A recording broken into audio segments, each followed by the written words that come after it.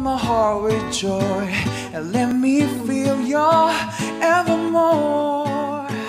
Cause you are all I long for, all I worship and all I adore. In other words, please be true. In other words, I love you.